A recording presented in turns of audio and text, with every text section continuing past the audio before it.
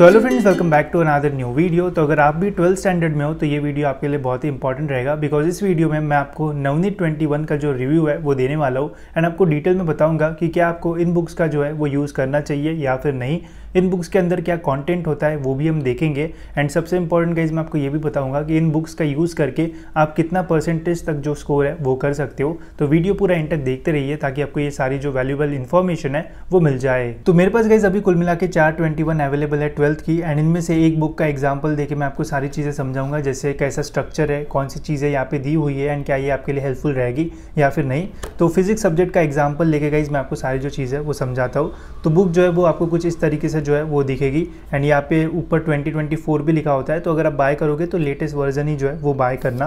पहले पेज पे गाइज़ यहाँ पे बुक की जो हाइलाइट्स है वो दी होती है तो सारी इंपॉर्टेंट चीज़ें बताइए कि ये कंटेंट जो है वो इसमें आपको मिल जाएगा मेन मेन हाइलाइट्स फिर गाइज़ सेकंड पेज पे यहाँ पे आपको काफ़ी इंपॉर्टेंट जो इन्फॉर्मेशन है वो मिलेगी। जैसे यहाँ पे फिजिक्स का जो इवेल्यूशन प्लान है वो बताया है कि फिजिक्स का 70 मार्क्स का पेपर होगा 30 मार्क्स का प्रैक्टिकल रहेगा टोटल 100 का वेटेज रहेगा, ठीक है? फिर यहाँ पे गैस आपको क्वेश्चन पेपर का जो पैटर्न है, वो बताया हुआ है। जैसे क्वेश्चन पेपर में आपके जो है, वो पहले तो मल्टीपल चॉइस क्वेश्चन रहेंगे दस मार्क के लिए। फिर वेरी शॉर्ट आंसर्स रहते हैं, जो कि छोटे आंसर्स हमें लिखना पड़ता है, वो रहेंगे आठ मार्क्स के लिए। विथ ऑप्शन कितने मार्क्स रहेंगे, वो भी यहाँ पे जो है, वो राइट हैंड साइड पे दिया हुआ है। फिर यहाँ पे आपका फिर बी सेक्शन में शॉर्ट आंसर क्वेश्चंस रहेंगे, जिनका 16 मार्क्स जो है, वो टोटल रहेगा एंड ऑप्शन के साथ 24 रहेगा, ऐसे यहाँ पे इन्फॉर्मेशन दी हुई है।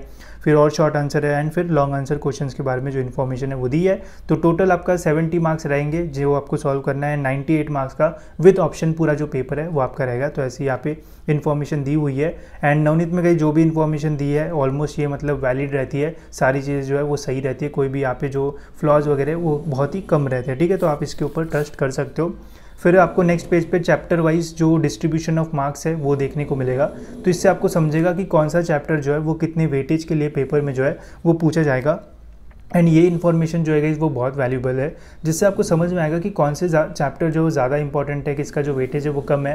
एंड इससे गाइज़ आप ये भी एनालिसिस कर सकते हो कि जो लॉन्ग आंसर क्वेश्चन है, जो कि सबसे एंड वाला पेपर में वो क्वेश्चन जो है, वो कौन से चैप्टर से आ सकते हैं? ठीक है? बिकॉज़ जिस चैप्टर का वेटेज ज़्यादा रहेगा मैक्सिमम चांसेस रहेंगे कि वहाँ से जो लॉन्ग आंसर क्वेश्चन है, वो आए, ठीक है? तो वो इन्फॉर्मेशन आप यहाँ से जो है, वो निकाल सकते हो। यहाँ पे पूरा चैप्टर वाइज जो डिस्ट्रीब्यूशन है, वो दिया हुआ है।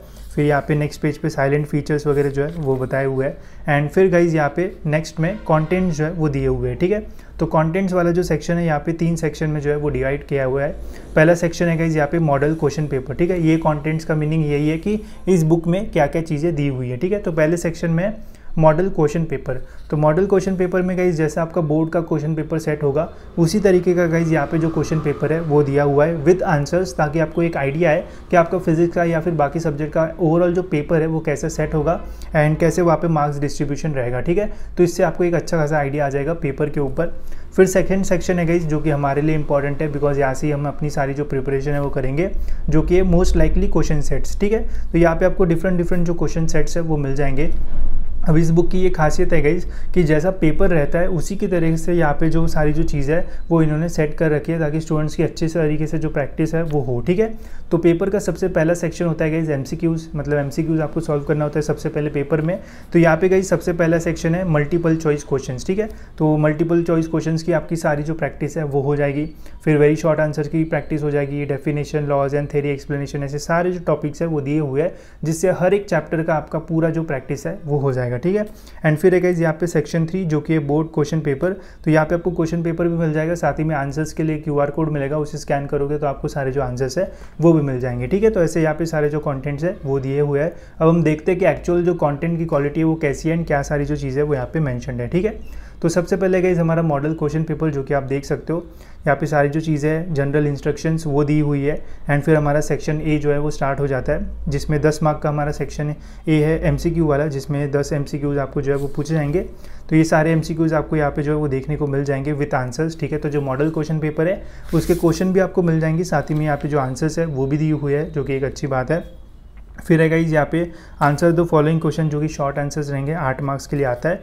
तो यहाँ पे भी गाइज़ डेफिनेशन टाइप के जो क्वेश्चन है, वो पूछे गए हैं एंड इनके जो आंसर्स है, वो भी यहाँ पे जो है, वो दिए हुए ठीक है? तो ओवरऑल गाइज़ जो आंसर्स है, उनकी जो लेंथ है, वो भी अच्छी है एंड जो पूछा है, उसी के बारे में जो है, वो बताया हुआ है। तो जो क्वालिटी है, वो भी अच्छी लग रही है।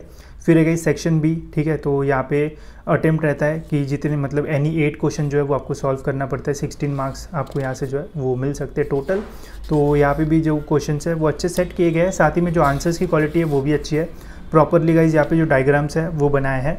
एंड सबसे इंपॉर्टेंट चीज़ गाइज़ मुझे यहाँ पे एक ये लगी कि जो बड़े आंसर्स है, वहाँ पे जब यहाँ पे आंसर्स लिखे तो ये भी बताया है कि ये चीज़ अगर आप लिखोगे तो यहाँ पे आपको हाफ़ मार्क मिलेगा। फॉर्मूला लिखोगे तो हाफ़ मार्क मिल जाएगा। पूरा आंसर आप निकालोगे तो हाफ़ मार्क मिल जाएगा, ठीक है? मतलब स्ट्रक्चर वाइज चीज़ें बताई गई है कि अगर आप इस स्ट्रक्चर में चीज़ें लिखते हो तो आपको मैक्सिमम मार्क्स जो है वो मिलेंगे, ठीक है? जो कि एक बहुत ही अच्छा चीज़ है। बहुत सारे स्टूडेंट्स को समझ में नहीं आता है कि कितना लिखने पे हमें कितना मार्क्स मिलेगा।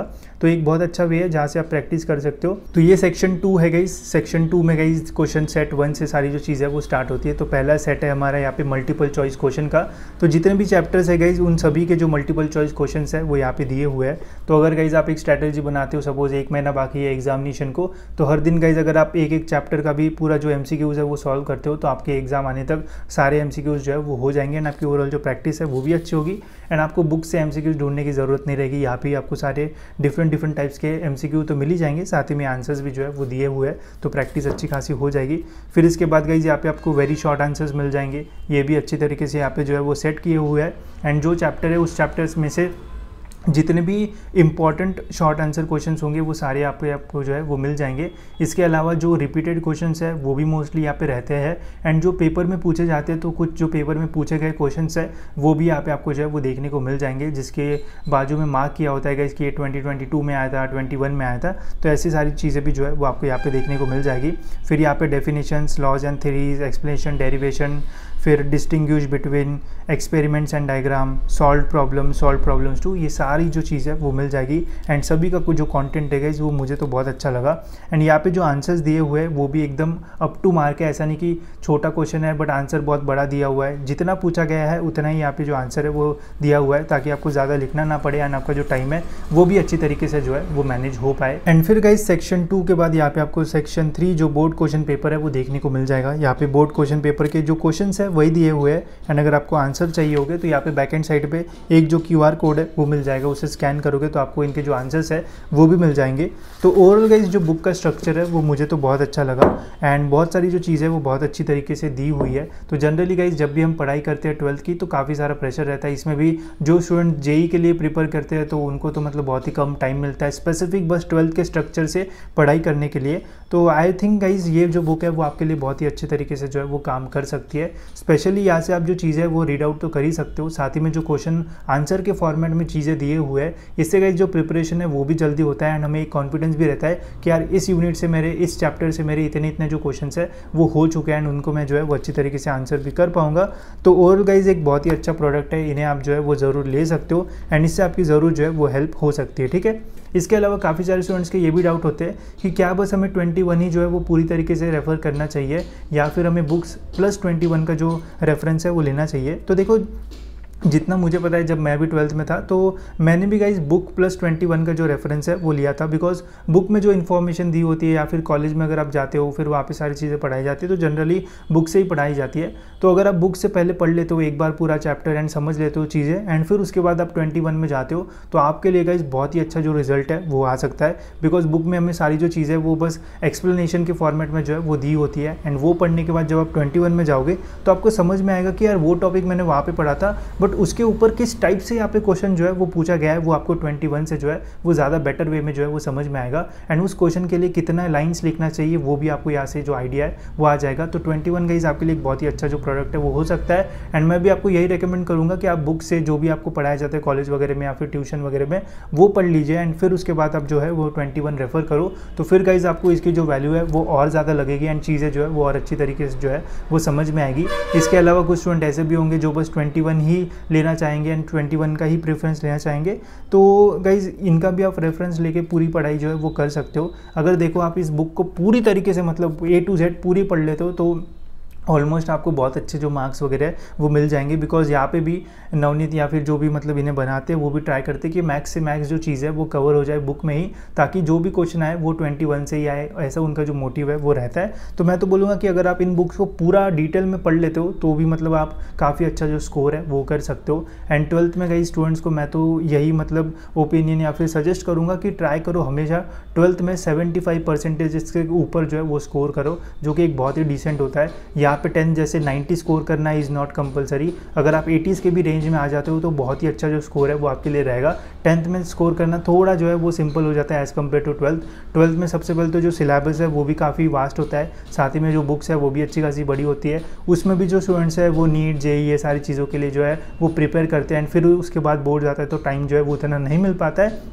तो अगर गाइज़ आप 75 या फिर उसके ऊपर भी स्कोर करते हो तो एक बहुत ही डिसेंट स्कोर आपके लिए जो है वो रहेगा। अगर आप नीट या फिर जेई कर रहे हो तो 75 के ऊपर मिलता है, तब भी आप वहाँ पे भी क्वालिफाई हो जाओगे। साथ ही में गाइज़ ट्वेल्थ के बाद जब आप इंजीनियरिंग वगैरह के लिए जाओगे, जब आप वहाँ पे प्लेसमेंट्स के लिए बैठोगे, अगर आपको सेवेंटी के ऊपर है तो आपको कोई भी जो प्रॉब्लम है, वो नहीं आएगा। जिन भी स्टूडेंट्स का सिक्सटी अबो परसेंटेज रहता है इंजीनियरिंग या फिर उसके बाद ट्वेल्थ में तो वो सभी कंपनीज़ के लिए जो है वो ऑलमोस्ट एलिजिबल वगैरह हो जाता है। तो सेवेंटी एक बहुत ही डिसेंट स्कोर अगर इसके ऊपर आपको परसेंटेज मिलता है तो ज़रूर गाइज़ आपके लिए आने वाला जो भी समय रहेगा, जो भी आपकी लर्निंग फ़ेज़ रहेगा, वो बहुत ही अच्छे तरीके से जो है वो आपके लिए जाएगा।